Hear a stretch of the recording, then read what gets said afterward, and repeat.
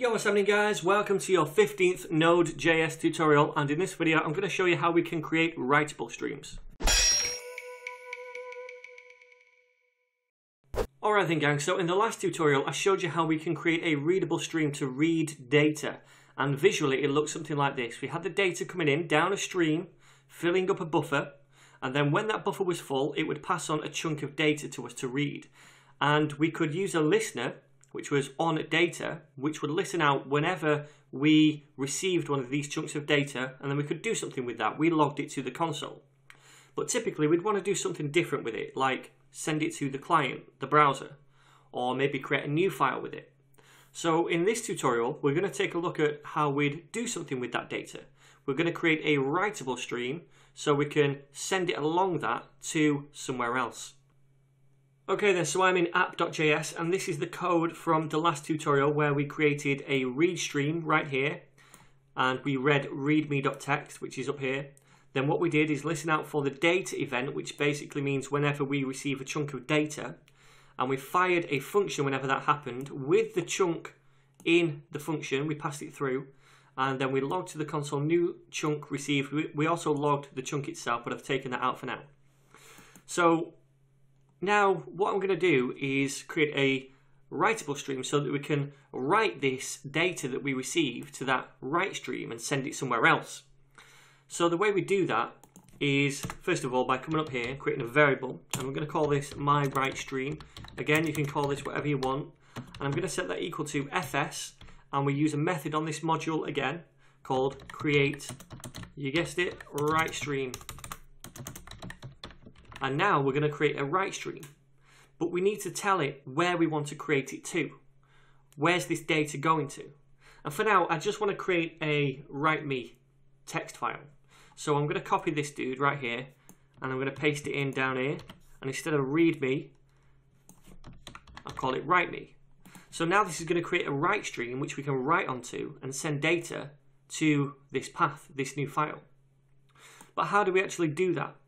Well, we're going to do it every time we receive a new chunk of data from this read stream. So we're reading this, and then every time we receive a chunk of data, it fires this function and we receive that chunk of data. So then we can now write this chunk of data to the write stream here and send it to this new location. So let's do that.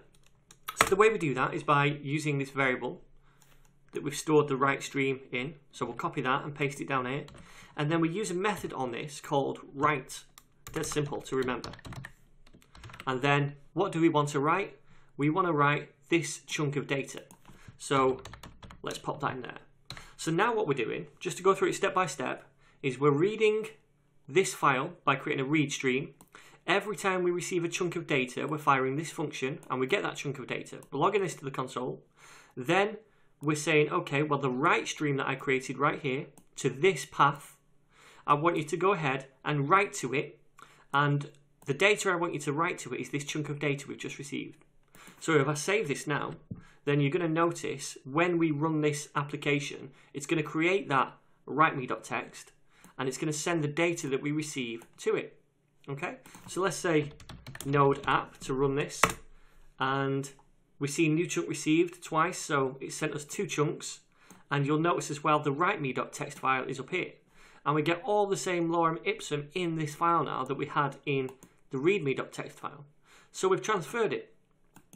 But if you compare this to how we did it a few tutorials back, where we looked at the fs.read file and write file ways to do it, the difference is that we're splitting up this file into chunks of data we're using a stream and a buffer so that we receive data more quickly.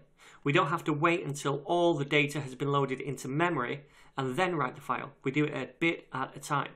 So you can see the benefit of reading some kind of data, whether that be a HTML file or something else, and then sending that data to the user, a client, this way because they start to receive the data quicker by using these streams.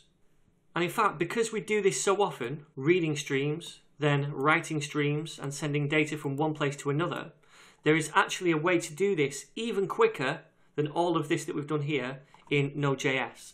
And that is by using pipes. So we're going to take a look at pipes in the next tutorial and then how we can use this way of dealing with data to send information to a user. So until then, if you have any questions, feel free to leave a comment down below. Otherwise, guys, I'm going to see you in the very next tutorial.